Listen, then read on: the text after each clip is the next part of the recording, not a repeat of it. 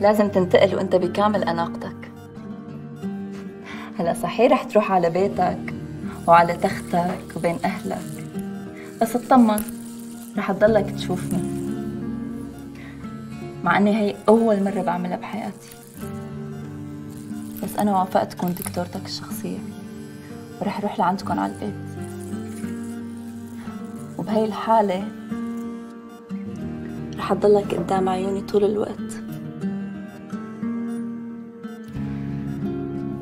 هلا ليش ما بعرف؟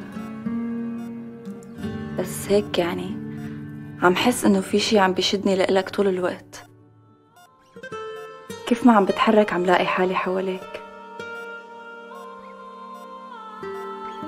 قلك سر بس ما تقول لحدا.